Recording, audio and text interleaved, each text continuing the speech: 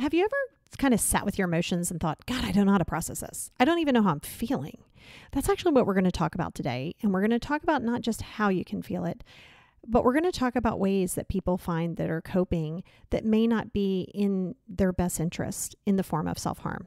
Let's chat about it right now. Check it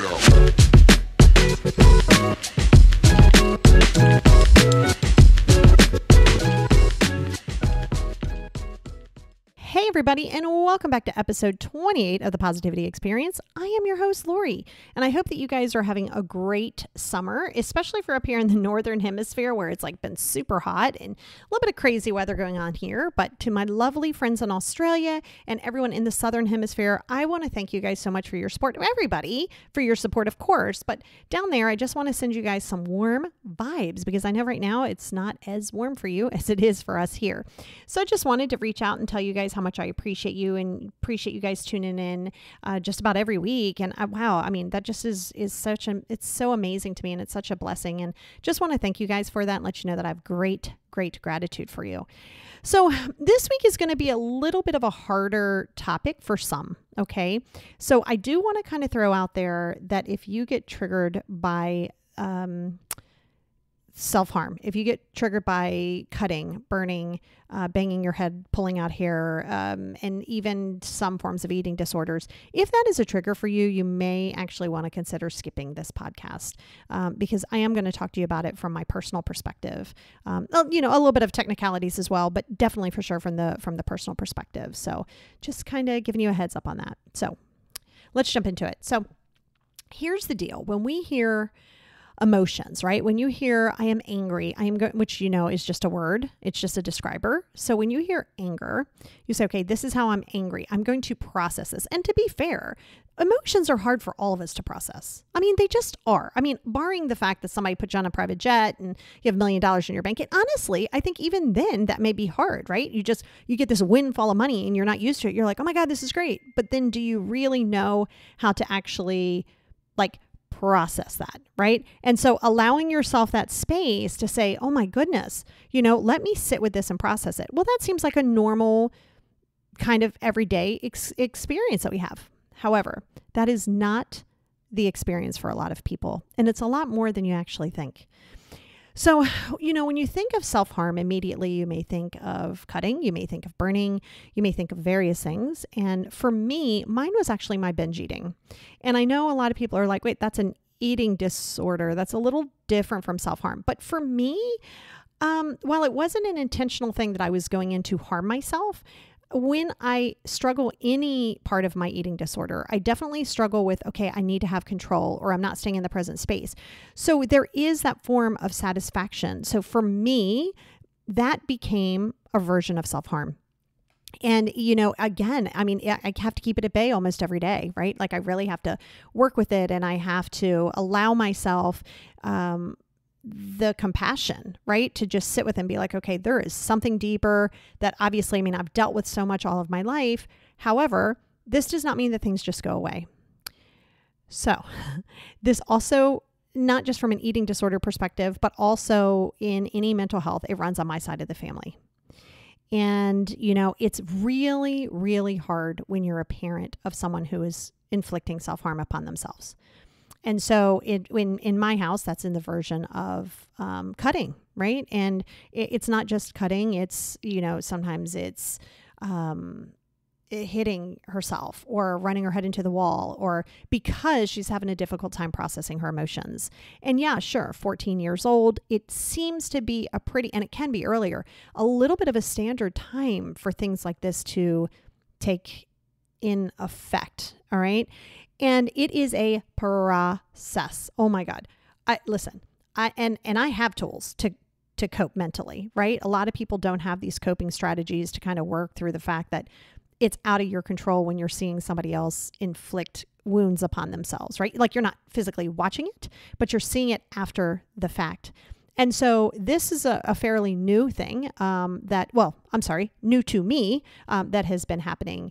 And it was a lot to take in for sure. Um, and, you know, that's why I tell you guys all the time allow your emotions to come anytime that you're listening to any of the content, whether it be on the podcast, whether it be on TikTok or YouTube, it doesn't matter. I'm just because I'm trying to get you guys to stay present and have self love does not mean I'm asking you guys not to feel your emotions.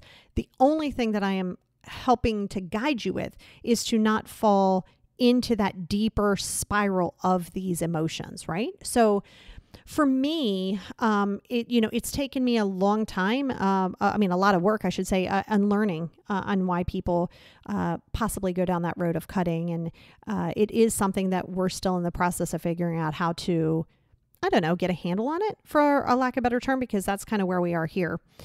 And it's so important that you do not react in a negative fashion. I understand when you see that, when you see markings, when you see cuts, when you see that, you immediately, most people want to be like, what in the actual hell? Like, that's like, what, whoa, like, what the hell? And you have to understand, remember, you get a little angry, and anger is fear, frustration, and hurt, right? And that I feel is a normal response in your brain, but you have got to make sure that you do not come across to your child as though you are mortified or that you are embarrassed or that you are shocked or that you, you got to really reel it in, right? Because immediately what's going to happen for most parents, especially I want to say moms, right?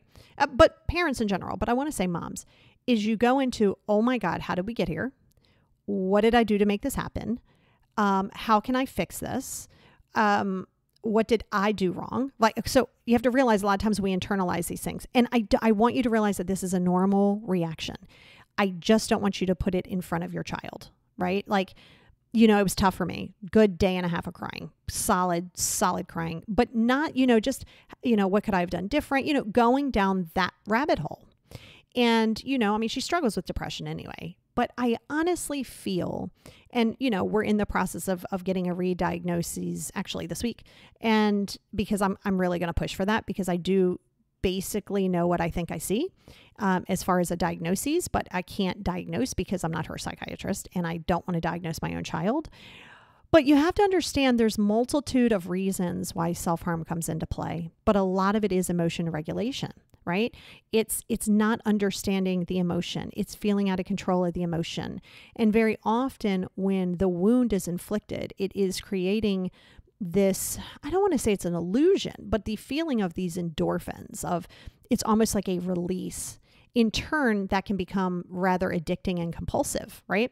And so now you want to you want to do it more because it ultimately is relieving some kind of pain or you want to go deeper because it's not quite as good as it once was, right? And that is just about with everything. And the biggest factor in that is understanding that there's always going to be something deeper going on there. Now, is there um, a scenario on the planet where it's like, well, my friends are doing it, let me do it too? Um, I want to be really careful on that because I don't want you to, and this is so imperative. I don't want you to look and be like, well, this is new. Like, who the hell you been hanging out with? Oh, Tiffany down the street, she's been cutting and now you're cutting. What are you trying to be like her? Like, you want to be extremely careful in trying to diagnose as to why this is happening and then try to negotiate yourself as to why it's happening. You know what I mean? And so you want to be so vastly careful of going, hmm. Now, do I feel, now remember, this is just a Lori speaking here, okay? Do I feel as though there's a connection with learning that other people are coping with it and they may share it with you? Yes, I, I, I, do believe so. Okay. However, I also want to be careful in saying that because very often parents walk around like they're pretty perfect in front of their kids. They don't want to see them upset. You know, you don't want your kids to see you upset. You don't want them to see you anxious. You don't want to see all that. And you think that you're actually doing them a service. Well, I don't want you walking around just dumping it on top of them.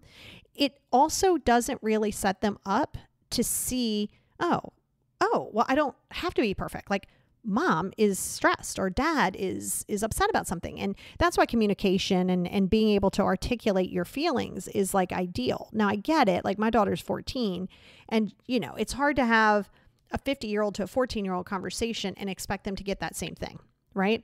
And that's just from life skills, it's from knowing what you know, it's you know, all of those things come into play. So you have to understand that the immediate response may be, I'm cutting off all communication to your friends. I'm taking your social media. I'm taking your phone. Okay. In my opinion, and I would definitely talk to your therapist about this. And if they don't have a therapist, make sure they get one or a coach of some sort, right? Somebody who has some kind of back background in this or has experience in it, even if it's a personal experience, right? It doesn't even have to be an educational experience, a personal experience. That's why there's like peer support groups and and things like that that are often sometimes even more helpful than the therapy to the person who is doing self-harm. And so, you know, it's you want to be careful because you immediately want to be like, that's it. I'm going to make sure that the house is safe. And I do agree with that. Like I have my kitchen knives put away in in a in a cabinet and I have it locked like with a padlock. Um, not every one of my cabinets because I also don't want to walk around and make it seem as though it's so sterile that she can't live in here. Um, and then I also have a cabinet that has all of the medicines and vitamins and all that stuff. I have that locked up as well, literally with a padlock, and I have the keys, um, you know, somewhere. So yes, do I want you to be able to do stuff like that? Absolutely. But I also want you to be very cautious in how this is um, affecting them and how it is affecting you. Because very often you don't want to make it about you, but in the same token, you are allowed to have your own emotions and your feelings behind this, right? So you got to give yourself the space and grace. That's why self-help and self-healing and and all of those things come into play. Find yourself a good little a good little source of support, whether it be your therapist, whether it be super close people around you, and you can also look into peer groups um, for yourself. Okay, uh, parents of children who self harm. Um, there are a lot of different groups. There's some on Facebook. There's uh, other boards. I think there's a clubhouse on it. So it's it's very important that you have it and don't try or don't, don't try. I want you to. I was saying don't, and then I was going to say I want you to try. This came out don't try. That's not what I mean. I actually want you to try to not go into self-loathing of your own because when you find out very often this is it's not typical for it to be like day one and now you know. Usually this has been over a process. For me in my house it's been probably almost a year right and so before you know i i was it was brought to my attention. And of course you can hindsight it. Oh that made sense why this was happening or i found that and that made sense. And you know so you also want to be careful of that too. Try not to go back and be like how could i have prevented this? What could i have done? Why didn't i do this differently? That's why you have to protect your own mental space too. Now if in fact you are a parent of someone is self-harming uh, and i like i said i personally for me my binge eating disorder was self-harm not that I was intentionally thinking this is self harm. I was thinking these are a coping skill. And often self harm goes into that coping strategy, right? I mean, it does. That's basically why you're why they're doing it, and it becomes a um, compulsion, right? It becomes a compulsion. So, do I feel it feel um, as though this is linked to some form of OCD? Hmm. Possibly. Uh, I do feel as though other disorders play a huge factor in all of this. Okay. I, I mean, I, I, truly do. I feel like uh, personality disorders can come into play. Um, borderline personality, opposition, defiant disorder. Uh, there's, I mean, the list is kind of endless, right? Bipolar, uh, yes, depression, yes, anxiety. There's a multitude of things. So, and this is where I think the frustration for most people who are trying to pinpoint what mental direction of healing, especially from a medicine perspective, like a medicine pharmaceutical pers- uh, perspective, it's tough because when when you are in a space, right? When you are in the space of allowing yourself to go through the sort of guinea pig stage, which I know that sounds awful, and I don't mean it to be like, oh, people are just trying to figure it out. But ultimately, when you present, especially if someone is younger and they're presenting with uh, depression, okay, so typically you're going to have your therapy and or uh, sometimes antidepressant. Boom, you're given the antidepressant. Now, here's how that works: antidepressant may very well work, and they work amazingly in so many people. However, if you have borderline personality, if you have bipolar, if you have a multitude of other things, now we have to look and say, hmm, Sometimes antidepressants are going to increase your agitation. It may throw you into a manic phase. It may there's a couple things it can do if in fact you're struggling with something else, right? And I mean sometimes even on its own. But if you're struggling with bipolar, very often they're cautious in giving you your an antidepressant because obviously it can throw you into mania. So it could be a mood stabilizer, something like a Lamictal or even back in the day, like a um, lithium or, or something like that. So there's other medicines. But to be fair, very often, like as I was going through my healing process and I also had borderline personality, I was actually therapized out of it um, because I obviously went through exposure therapy of my own long before I started doing alternative therapy as a practice. And so I was also diagnosed with borderline personality. And I know that mine came from a lot of the traumas. Plus, I truly believe that there's a form of hereditariness. you know what I mean? I know that's not really a word, but um, it, and so for borderline, as I started to learn coping st- uh, strategies, and actually, actually, DBT is fantastic for borderline um, clients. That's dial. Di- I cannot speak today because my dinging was going off, and my ADHD kicked in and was like, "Oh my God, turn that dinging off." so I, yeah, so it's dialectical behavioral therapy. So when you are going through DBT, it actually helps you with mindfulness, and it's it's showing you a direction. I actually do a, a, a good form of that with with a lot of my clients is is DBT, even my non uh, BPD clients clients. So in in my opinion, I like I believe as though she was diagnosed with one thing, but we need a deeper diagnosis because I'm I pretty sure that I know it's a lot deeper and it will require a mood stabilizer, other coping strategies, and at some point it may or may not even include hospitalization and into a clinic.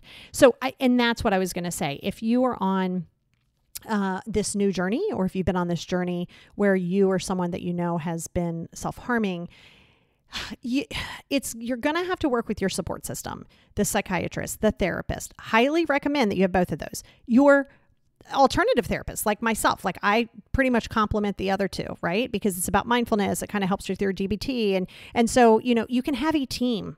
There's not a rule that says you need one person. There's not a rule that says if you take this medicine this is the only medicine that's going to work for you. Not true it's sort of a guinea pig. It's it, it's it's a trial and error, right? Like, is this working? It's not working. Is this working? It's not working. And at some point, it becomes too much for the person to handle, or the the the person who's suffering mostly, right? It's not about you, but it is because you still have to protect yourself, right? You still have to help your your mental space. And so it may come to a point in time where there it, you may need to be inpatient for a little bit. It may be 2 weeks, it might be 4 weeks, it might be a couple visits. You don't know and you don't need to overthink it and overanalyze it. Okay. And so understanding that it, this is a process and it is difficult for the person who is self harming. It is so difficult for them because not only do they not know how to process the emotion, maybe they're lacking the empathy of others and, and not, or not towards others, but towards self. And there's all of these things that come into play. And you go, oh my God, can you just, like, I just want you to feel better. Of course. You don't think they want to feel better? 100%. It's, it's like a, it's a it's cycle and like i said it becomes a compulsion and there is a level of shame and guilt that comes along with that for them. And for me you know i mean and of course i've done so much studying on this now i feel like i'm I'm an unverified expert in it just because I think because I'm living with it and as a person who does a lot of mental health work as a profession, you know, I've I've talked to a lot of, of specialists. I've talked to I've done a lot of reading and worked with scientists and, and thought and looked at the biofeedback in brains and, and why does this happen? And and so for me, my OCD takes me down the road of I must know this perfectly. you know, and I know not perfectly, but you know what I mean? Like I must really understand it. And I think like um, you may notice that your child or the person who is self and doesn't have to be a child by the way it can also be an adult um, is who is self-harming may start wearing long sleeves in the summertime may not want to put on shorts in the summertime um, typical places are going to be the inner part of the arms, down the thighs, and on the hips, which is um, seems to be the specialty here, um, and also sometimes by the ankles. And they typically don't want it to be seen but there comes a point in time where I believe there is something that they want to know. And in my case with with my daughter, there was marks on her arm and they were really easy because we have two cats to dismiss. So freaking easy because I play with my cats and I literally look like my arm's been mauled, right? So it, it wasn't abnormal until just the other day, literally, you know, I said, wait a minute, like my sixth sense kicked in. I was like, we need a conversation. And I kind of knew that the medicine wasn't working. And then there was a space where she was squirreling some medicine away that she wasn't taking and so there's a that's why i said i think there's a lot deeper issue here going on and so understanding that and so when we talked about it obviously when she told me it was a, i was a little bit like okay all right let me process this for a minute because she said are you mad at me and then she, immediately sometimes by the way they will get defensive like what are you mad and i was like no no no i'm not mad and so i you got to know to pull back, right? Because you don't want to exacerbate it. And then you go down that rabbit hole of, well, where do I fit in? What's my role? How do I parent? If I push too much, it's a problem. It could be a trigger. If I don't push enough, then I'm not being a parent. Is it manipulation? Is it not manipulation? Like there's this thing that's going to go in your brain and you're going to be like, oh my God, what can I do? And the one thing that you can do is allow yourself to process it, to process it. If you're going to cry for two days, go cry for two days. All right. Just don't stay there. Just don't stay there. But you got to be able to process it, be able to have some open communication. You want to let your child or the person who's doing self harm know that you are there. Now, here is the thing, and this is going to be hard for a lot of parents or people who are um, in support of someone who is self harming. This is going to be tough to hear. But, you know, my daughter said, listen, like I'm going to try, but I can't promise you I'm going to stop. Like, I mean, it's kind of addicting. Like I this it's a compulsion for me. And the fact that she said that to me, I was like, thank you for that. You know, thank you so much for telling me that. And, you know, I, she said, I, I was looking for neosporin. We didn't have any. So I picked up some neosporin and, you know, she, I said, listen, if, if you're comfortable talking to me, um, there will never be any judgment. If you had a hard time processing, just let me know and maybe I can help you clean the wound.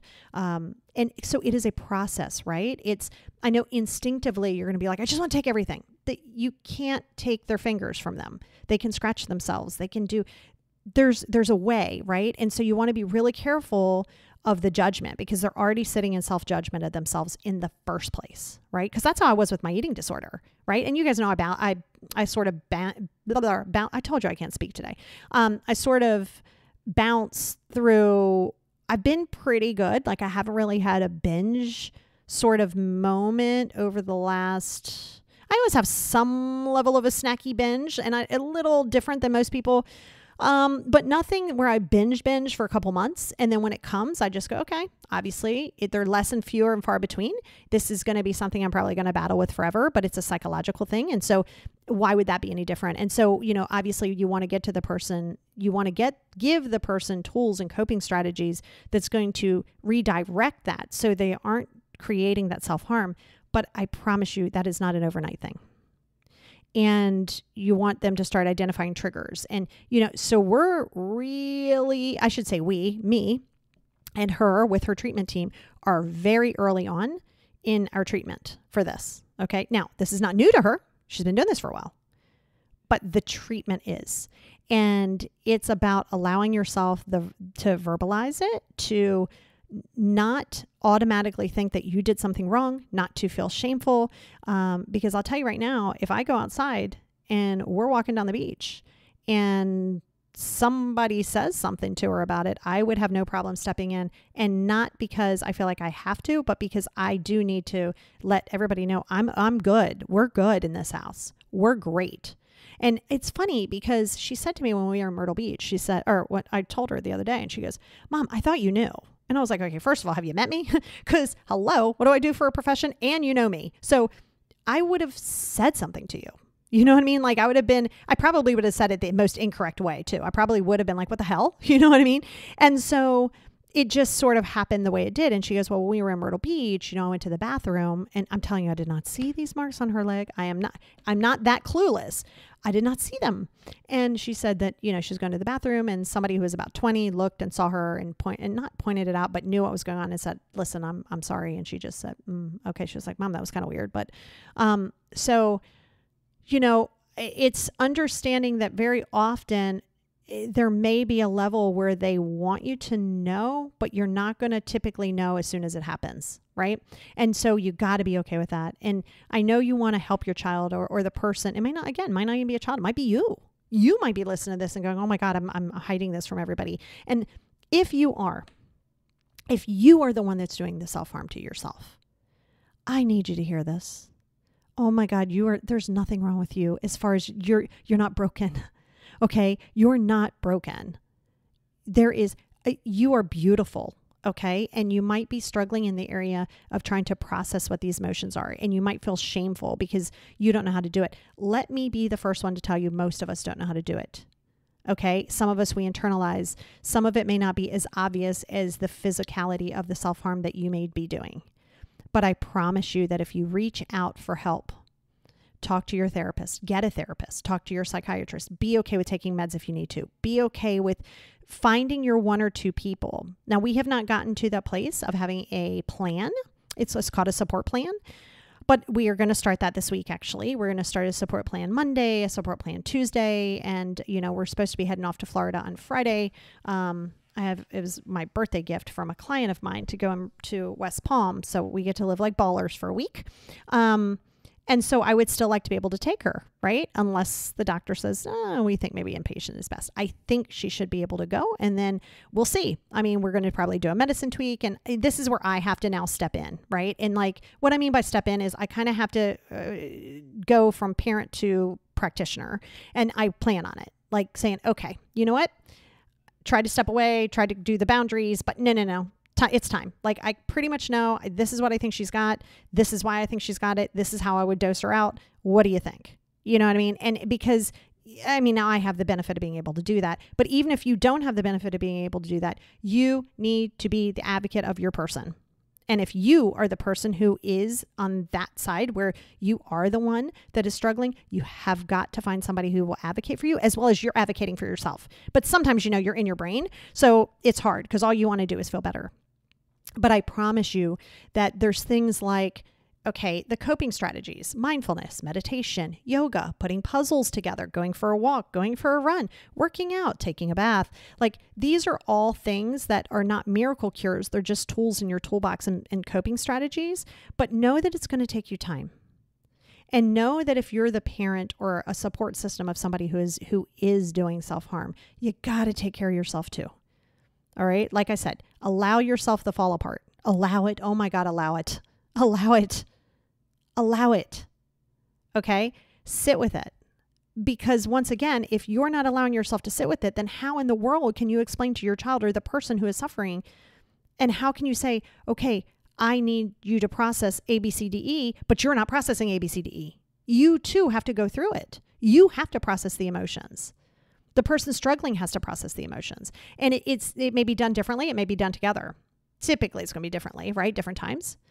And so understanding that, you know, if you are stressed and if you feel like you're helpless, if you feel like you're hopeless, like there's the suicide prevention line, right? And while I think people get this a little mixed up, but when people self harm, doesn't mean that they're going to try to commit suicide. Oh, believe me, I know how you could say, what? Like, now, do I believe that there's an increase there? And I've talked to some other scientists and, and sort of mental professionals who said, yeah, I mean, there's obviously, if that's happening, Eh, about 70% more of an opportunity for that to happen, of course. But you, you, can't sit there and worry about that. You can't go, if this happens, that happens. If this happens, that happens. This could, ha- your brain's going to do it. Let it process it. Okay. And you don't have to alert the media. You don't have to tell everybody on the planet about what's going on, but it is nice to have one or two people. Now, you know, I'm I'm usually pretty honest with my kid and, and saying, you know, hey, this is this is my support system and and she knows right like she's got her support system i got mine um, and you know it's it's about creating that and allowing yourself the space and grace to do that but understand that you know people say things like oh my gosh you talk about everything that goes on in your life like it's no big deal. Are you kidding me? Of course it's a big deal. But what am i going to do? Sit in a closet with it? It, am I, I mean, obviously, I mean, well, I guess it is kind of like Facebooking. I'm putting this out in Pod World, but different. and so, you know, I would though. I mean, it's because here is the thing. We know like this is this is how our our this is my reality right? This is this is my reality. This is my family's reality this is my podcast so if i'm going to sit here and i'm going to say to you whether it be youtube or whether it be facebook or whether it be tiktok or whether it be here if i'm going to say hey self-love do this do this stand up meditate da da da da i got to be honest with you i got to be honest on my struggles which is why i'm really good at my job the education, great, love it, cool, that's awesome. But guess what? does not hold a candle to my experience. Does not. I could have seven degrees from Yale does not hold a candle to my experience. And so when I'm sharing this with you, and this is literally something that I'm going through as we speak, as we speak. And you know, I'll try to do a um a follow up a couple months down the road and be like, "Hey, remember this? Here we are." And I'll do a lot on Insta story. I mean, obviously she knows like this is this is my life. Outside of just helping people individually on telesession and stuff like that, I'm also out there. And so speaking about it when you don't speak about it is when I believe it becomes problematic. Because then to me, it appears as though I'm I'm I'm ashamed of it or I'm, I'm i feel bad for it towards other people. And I feel bad at, bad that this is where she is in her part right now. But feeling bad and hiding it isn't going to fix it. And so sitting and working with it and, and, and working with a support team, understanding, guys, if this is you, if you are a person who is self harming, I promise you that if you give yourself the space to help learn these coping strategies, you can, you can get on the other side of it. But you got to be patient. And if you're a parent or support system for someone who is doing self harm, Yes, get them the help. But here is the deal you can't make somebody do their coping strategies. You can't look and go, you better meditate. You can't look and go, you better go for a walk. Right. So that's why you want to work with the person who's suffering or struggling. You want to work with their support system and you want to come up with a strategy. You want it to be a balance and reward, right? Because in the real world, people are not just going to hold your feelings. People are not going to be like, ooh, oh, okay, you have a history of self harm. So I'm going to be a little nicer to you. That is not how the real world is going to work. That is not how the real world is going to operate with you.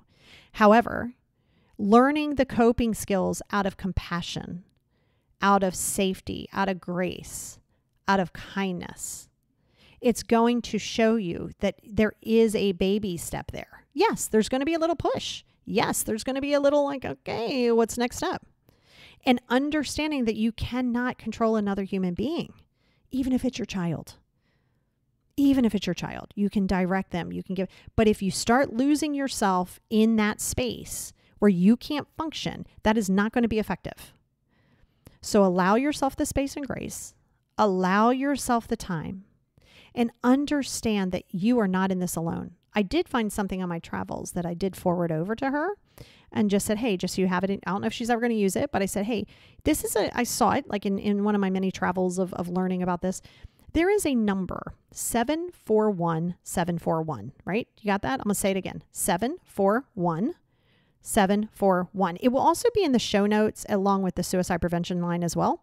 And apparently if you text that and you're struggling that's like a it's like a text right? It's like you have somebody other on the other end texting back and apparently it's a 24 7 so i did pass on that information and all you can do is provide the tools and try to be the best support system without losing yourself in the process of that right?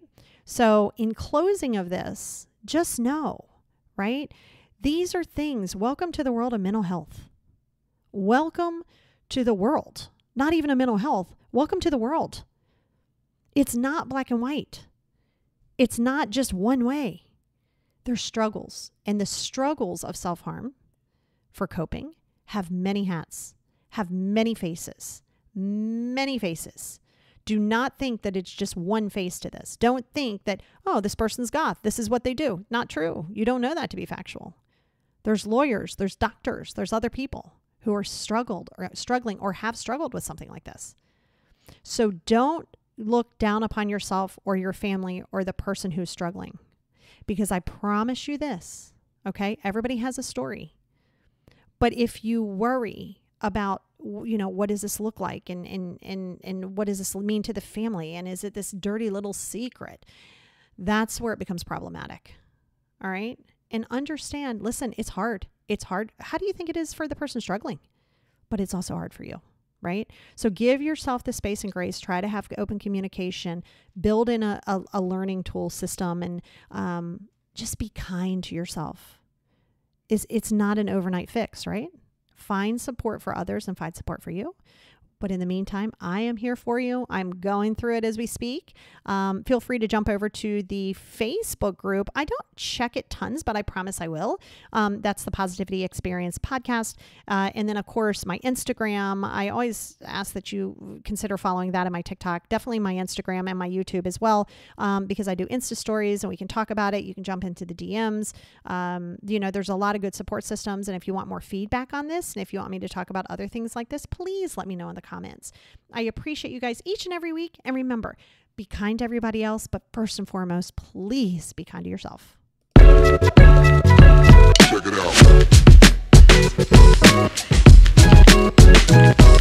out.